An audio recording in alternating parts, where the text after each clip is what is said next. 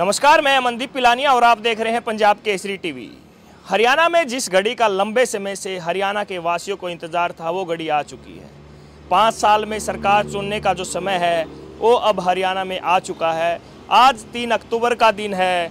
आज शाम छः बजे जो चुनाव प्रचार लगातार हरियाणा में सभी पार्टियाँ और निर्दलीय उम्मीदवार लगातार कर रहे थे, आज वो चुनाव प्रचार थम जाएगा और पाँच तारीख को हरियाणा के मतदाता अपना मत का प्रयोग करके नई सरकार का गठन करेंगे। अभी फ़िलहाल हम हरियाणा की सबसे चर्चित सीट उचाना विधानसभा में मौजूद हैं और उचाना विधानसभा की बात करें तो उचान विधानसभा से जेजेपी पार्टी की तरफ़ से हरियाणा के पूर्व उप मुख्यमंत्री दुष्यंत चौटाला उम्मीदवार हैं। भाजपा की तरफ़ से देवेंद्र अत्री उम्मीदवार हैं। कांग्रेस की तरफ़ से चौधरी बीरेंद्र सिंह के लड़के ब्रजेंद्र सिंह उम्मीदवार हैं और वहीं पर आम आदमी पार्टी ने पवन फौजी को अपना उम्मीदवार बनाया है और निर्दलीय भी काफ़ी चर्चा के रूप में यहाँ पर अब की बार दिखाई दे रहे हैं।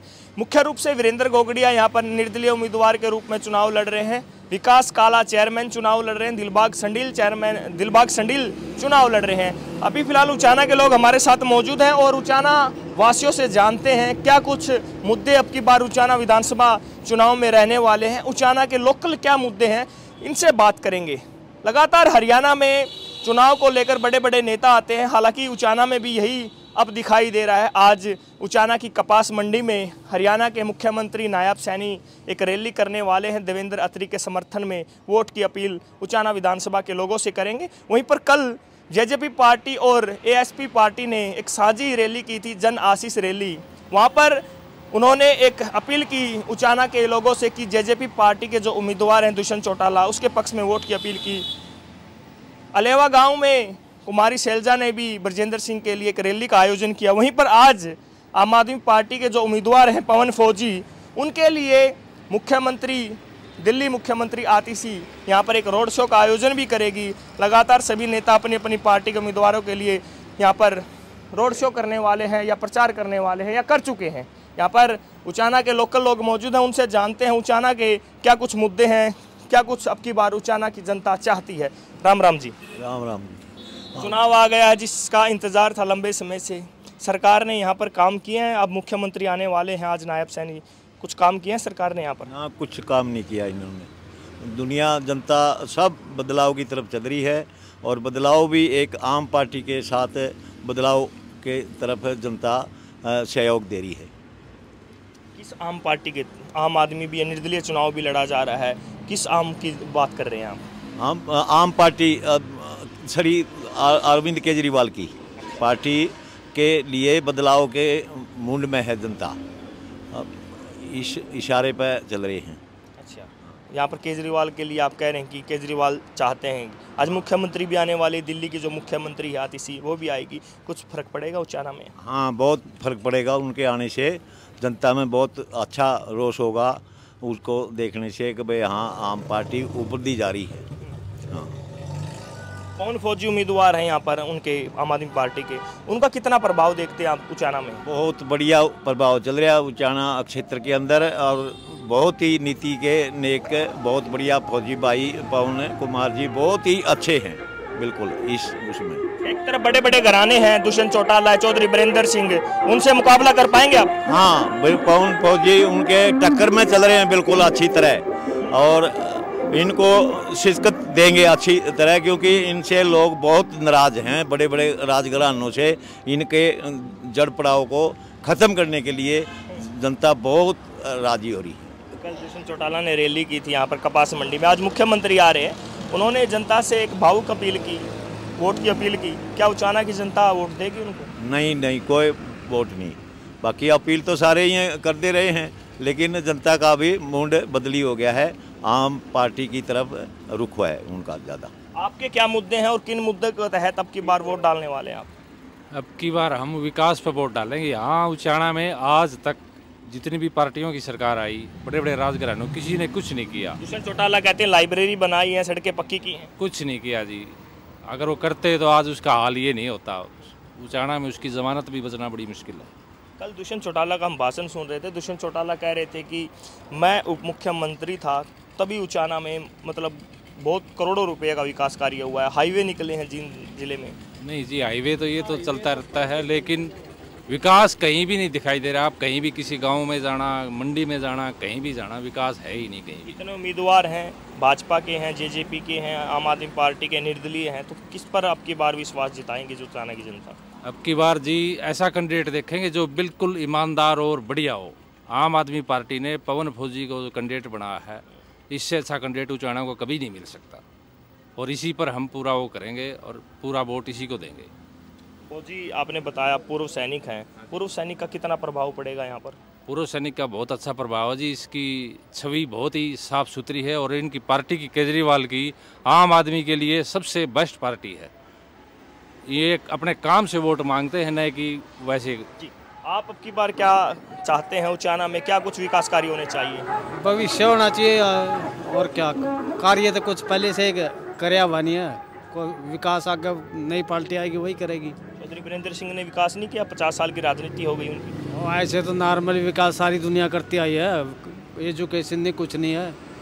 कोई कुछ नहीं है। कोई फैक्ट्री एरिया कुछ रोज़गार तो होना चाहिए बच्चों के लिए। सारे बेरोजगार आदमी हैं इधर। कुछ हो विकास नहीं। अभी दो लोगों से बात की आम आदमी पार्टी पर कह रहे हैं कि विश्वास जताएँगे। केजरीवाल पाँच गारंटियों के साथ अब की बार चुनाव लड़ने वाले हैं हरियाणा में। रोज़गार का भी ज़िक्र उन्होंने किया है तो आप रोज़गार की बात कर रहे हैं। तो रोज़गार के मामले में आम आदमी पार्टी को किस प्रकार देखते हैं? पवन फौजी यहाँ पर उम्मीदवार है। वो तो बहुत अच्छी प्रकार से वोट और सपोर्ट दे जा, दी जाएगी। अच्छा। हाँ। तो दुष्यंत चौटाला उप मुख्यमंत्री रहे हैं तो किस प्रकार अब की बार देखेगी? उचाने की जनता वोट देगी उनको? वो तो लिया खत्म सौदा सारा। खत्म निर्दलीय भी चुनाव लड़ रहे हैं वीरेंद्र गोगड़िया निर्दलीय क्या? कुछ को नहीं तीन है। बराबर जाएँगे तो कुछ को नहीं। रैली तो अच्छी खासी कर रहे हैं ये लोग। रैली तो लोग दिखा जिसके पास पैसा वैसे उठाएगा। जिसके पास नहीं पैसा हो क्या वीरेंद्र गोगड़िया के पास तो पैसा नहीं है जैसे हमें सुनने को मिलता है लोग चंदा दे रहे हैं है क्यों नहीं? लो, लोग देने लग रहे हाँ। ठीक है? एक जोड़ी करके मांगने लग रहे और इस तरह पैसा कहाँ से आएगा? पूरा गाँव को इकट्ठे क्या पैसा ही दे रहे और क्या कर रहा ठीक है ओके। जी आप किस प्रकार देखते हैं चुनाव को? क्या रहेगा अब की बार उचाना में? अब की बार उचाना भाई साहब ये रहेगा उचाना में आज तक कोई तो विकास नहीं हुआ। और ही पब्लिक आम पार्टी को सारी है क्योंकि पंजाब दिल्ली में ना काम करके दिखा दिया। और वो काम अपना हरियाणा में करेंगे तो पब्लिक आम पार्टी को सारी है। और बढ़िया ये बैच देख रहे हैं भारतीय किसान नौजवान यूनियन तो यूनियन से जुड़े हैं यूनियन से जुड़े हैं और किसानों ने मतलब समर्थन कर दिया आम पार्टी का। फौजी का एक नंबर का उम्मीदवार है और सारा पंजाब और दिल्ली में काम करे वो काम करके दिखाऊँगा केजरीवाल। इसलिए आम पार्टी बिल्कुल तो भाजपा का क्या रहने वाला है? देवेंद्र अत्री भी चुनाव लड़ रहे हैं। कुछ नहीं रहने वाला इनके जमाने से बताओगे बीस पे सिमट जाएगी भाजपा हरियाणा अंदर आप आठ हज़ार को देख लेना। बीस सीटों पर सिमट जाएगी। ये क्लियर सर सर बता दिया मैंने आपको। बीस सीटों पर सिमट जाए बीजेपी। और हाँ आम पार्टी। तो यहाँ पर और लोगों से भी बात करने की कोशिश करते हैं या क्या कुछ कहना चाहते हैं? क्या मुद्दे हैं? क्योंकि दुष्यंत चौटाला और वीरेंद्र परिवार की कह सकते हैं यहाँ पर राजनीति खासी तौर पर देखी जाती है और हरियाणा की सबसे चर्चित सीट उचाना विधानसभा को माना जाता है। सभी लोगों के अपने अपने स्तर पर मुद्दे होते हैं शिक्षा रोज़गार स्वास्थ्य है। तो ताऊ से बात करते ताऊ राम राम। राम राम नहीं आप बताए बुज़ुर्गों के लिए काम किए हैं भाजपा ने? ना नहीं करे। अच्छा। हाँ। दुष्यंत चौटाला कहते हैं गठबंधन की सरकार में पेंशन की वर्दी हुई है पेंशन बढ़ी है बुढ़ापा पेंशन। ये तो जी योजना पता है पेंशन का तो दुष्यंत चौटाला का कोई योगदान नहीं उसमें? ही जो आगे पार्टी आएगी आई साल बतावे हैं। ये तो बताएगी जी। सारे कर्मचारी यही नहीं कौन सा गाँव है आपका? पालवा जी। पालवा गाँव है। उचाना का लगता ही गाँव है आपका। तो काम हुए हैं उचाना में? दुष्यंत ने काम किए हैं कुछ? ना जी कुछ नहीं काम करे। बढ़िया को नहीं है।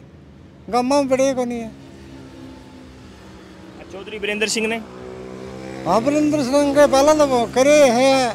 ये दस साल यो भी बड़ा बीज गया कोई दिया। पाँच भाजपा में? भाजपा में। कांग्रेस में आए हुए हैं। नहीं फिर कांग्रेस में आएगी। तो जनता वोट डालेगी उनको? हाँ वोट तो ले सारे ना आएँगे बेंटे बेंटे बांडा बांडा वोट आऊँगे। तो आप किसे डाल रहे हैं वोट? आम पार्टी के डाल रहे हैं जी। अच्छा। हाँ। कौन है उम्मीदवार? पवन फौज जी। अच्छा। हाँ। तो आप क्या कहेंगे अब की बार उचाना में क्या रहने वाला किन मुद्दों पर वोट डालेंगे आप? बदलाव ज़रूरी है जी। पहले सब देख लिए दुष्यंत भी देख लिया वीरेंद्र भी देख लिया सारे देख लिए। अब आम आदमी की सरकार ले आना चाहते हैं। हाँ। आज रोड शो होने वाला है आतिशी का मुख्यमंत्री का। मुख्यमंत्री बनने के बाद पहली बार उचाना में आने वाली है। तो क्या प्रभाव रहेगा उनका? कुछ तो बदलाव होगा जी लोगों में। कुछ तो पता चलेगा। भाई उनको भी पता चलेगा। हमने भी थोड़ा हमारे में भी जोश आ हुआ। तो आप किस प्रकार देखते हैं? क्या मुद्दे रहेंगे आपके? किन मुद्दों पर वोट डालेंगे? बदलाव की ओर है जी। उचाना बदलाव चाहता है। ये तो परिवारवाद की राजनीति हो रही है। कभी उसका पोता बना दिया कभी उसका देवता बना दिया। काम तो करते को नहीं काम कोई भी नहीं करके राज़ी। नहीं काम करें काम का प्यारा चाम का कौन प्यारा है?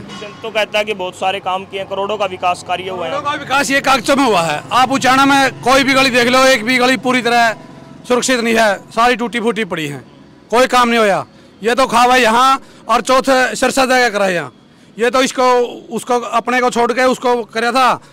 दुष्यंत को अपना बनाया था इसने कुछ नहीं कराया ये ये उससे भी गद्दार निकला। पहले प्रेमलता थी विधायक रही है वो भी सरकार में विधायक थी। उन्होंने काम किए? कुछ भी नहीं कराया इसने तो बोल दिया था पहले वहाँ इसके रेलवे फट के पास बोला था मैंने तुम्हारे वोटों की ज़रूरत नहीं है बोलिया किसने बोला था? प्रेमलता ने बोला था। अच्छा। हाँ। तो अब उनके बेटे चुनाव लड़ रहे हैं। तो उनके बेटे को वोट देगी जनता? ये तो जी दस साल मलाई खा के वहीं आ गई।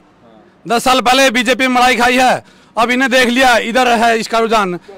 माल तो वही है अब कट्टे का लेवल बदला है। मलाई खाने का इनको आदत लग चुकी है। ये इनका वो तो है ही नहीं भाई एक जगह टिक जाएगा। ये तो चिकना गढ़ा कभी इधर रहेगा इधर होगा ऐसे होगा। तो कौन करेगा विकास कार्य किसी को तो वोट डालेंगे आप। उचाना बदलाव चाहता है। बदलाव के बगैर उचाना का विकास नहीं हो सकता।